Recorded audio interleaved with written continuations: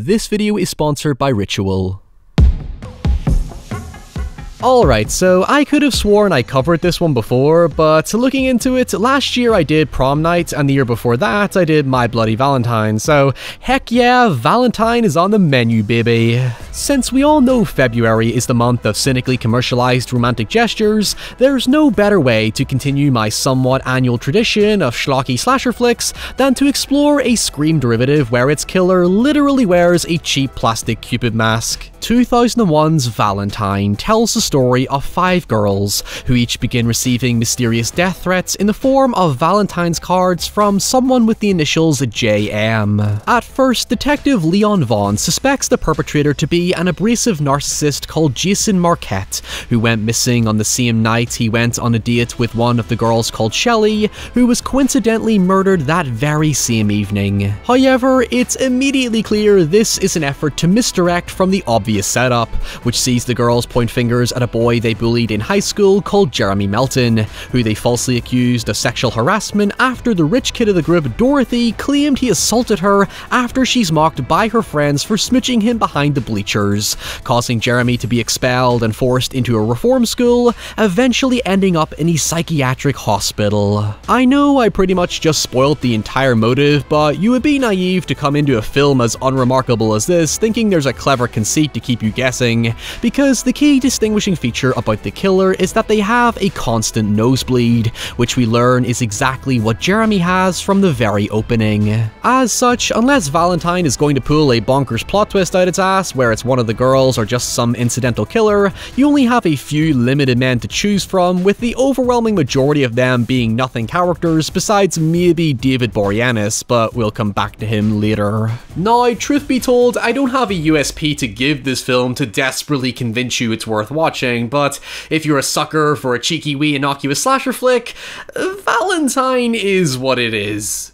As always, as we go along, leave those cheeky wee thoughts of yours in the comments below, including a like and subscribe, and lastly, here are a few words from this video sponsor, Ritual. So let me ask, do you have the perfect daily diet? Yeah, neither do I, but that's not to say we don't all try to improve ourselves, and specifically for my dad and I, that's where Ritual comes in. Ritual is a delivered to your door monthly subscription that helps supplement gaps in your diet with a 10 nutrient multivitamin containing the likes of vitamin A, D, omega omega-3 and zinc, but without shady additives, fillers, or colorants. In fact, Ritual's core ethos is built on consumer transparency in the most literal ways. Their website provides easy-to-read research studies and breakdowns of the various ingredients, where they're sourced and even their environmental impact, and aim to disregard the pseudoscience and half-truths that plague the internet. Each capsule is vegan-friendly, non-genetically modified, gluten-free, allergen-free, sugar-free, and has a delayed release to make it easy on the empty stomach, and includes a cheeky mint flavoring to keep your bottle fresh. You can select from a range of capsules targeted to specific age groups and requirements, however, it's not all vitamins.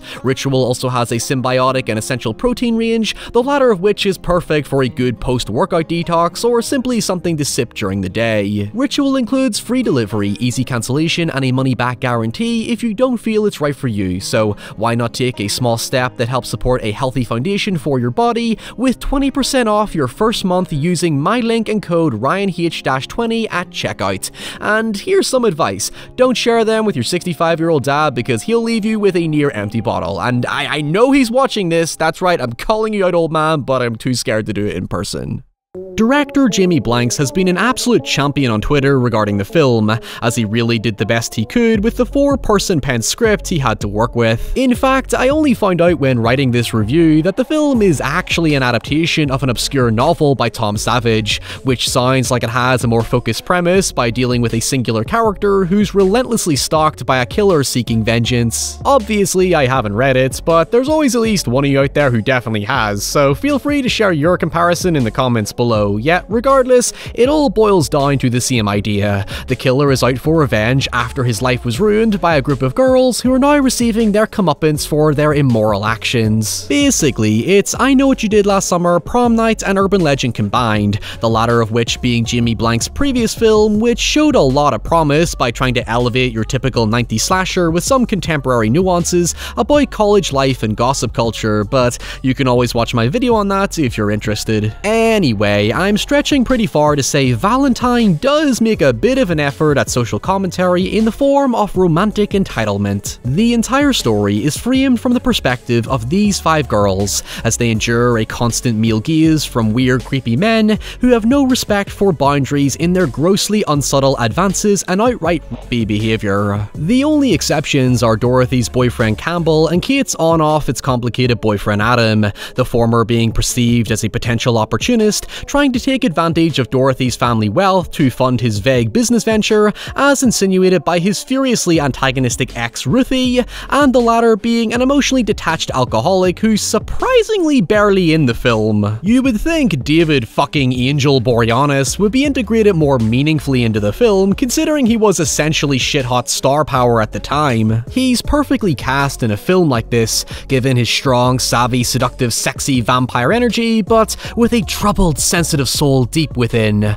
However, he's kinda given the Drew Barrymore treatment, not so much in that he dies early on because we would all riot if that happened, it's more so he's plastered all over the marketing but only sparingly shows up in heavily downplayed scenes until the climax. Side note, it's kind of ironic I'm talking about a movie that deals with the male gaze and here I am simping for David Boreanaz, but even my girlfriend understands I can't resist his screen presence. One thing I did find odd about the film's opening was that it sets up a group of male bullies in cahoots with the girls, but none of them ever show up as adults later on. It feels like making the other male figures in the girls' adult lives the bullies would have rounded off the whole revenge plot, but the reason I think it does this is to maintain a certain amount of mystique around these new men and mark them as potential suspects, seeing as they're not exactly the warmest characters to get attached to. Ultimately, what I think brings down the main theme of the film is that it doesn't fully commit to the idea of sexual toxicity and the male gaze perpetuating female vulnerability,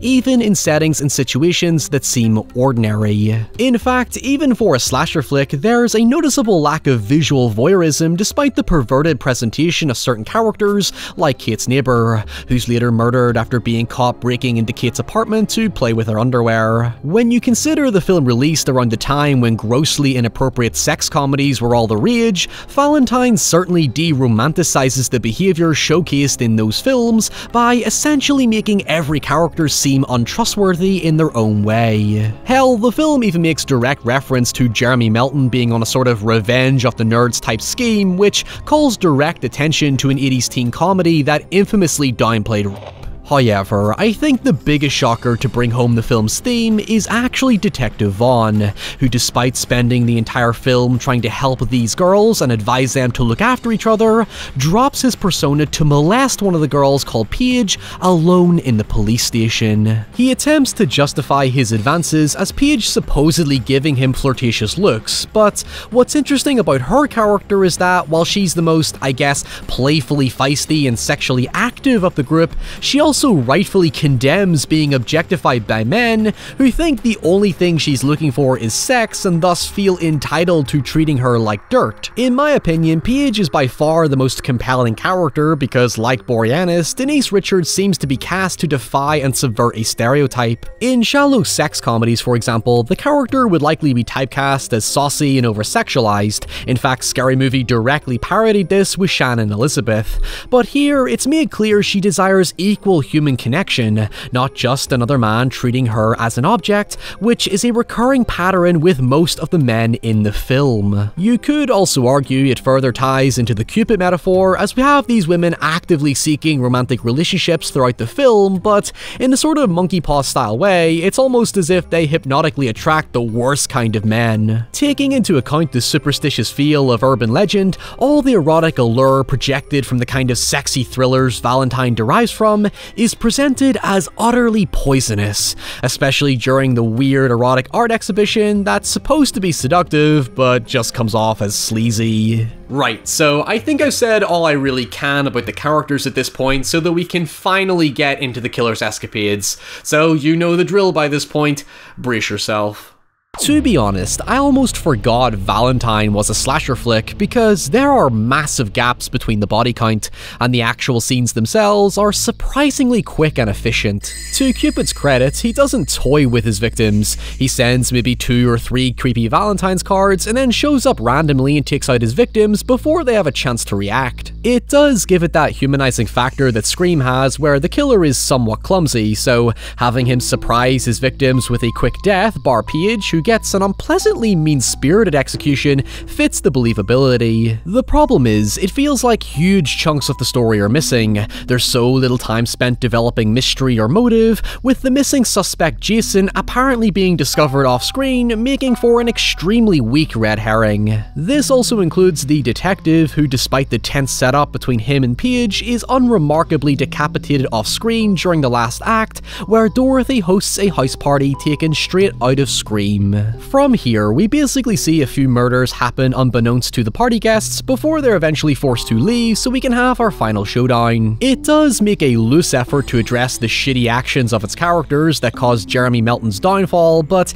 it largely focuses on the douchey rich girl Dorothy who instigated the false accusations. Kate is shown to be the exception within the group as the killer isn't actively targeting her because she wasn't involved in Jeremy's accusations. In fact, she's the one character to show any hint of likeness towards him, so if you put two and two together with who she eventually ends up with, the reveal isn't all that surprising.